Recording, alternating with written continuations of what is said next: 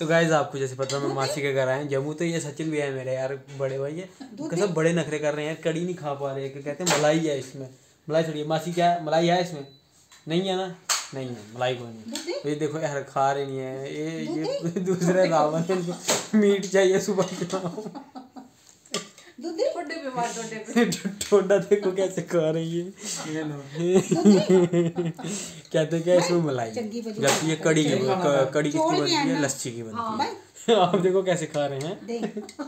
बस दो मिनट नखरा कर रहा होता है इनको और आपको मैं नारद मुनि से भी मिलवा देता हूँ हमारे बड़े दीदी नारद मुनि है। चलो यार सुबह आपको सुबह मिलूँगा नारद मुनि से। अभी सिर्फ़ रावण से मिलो।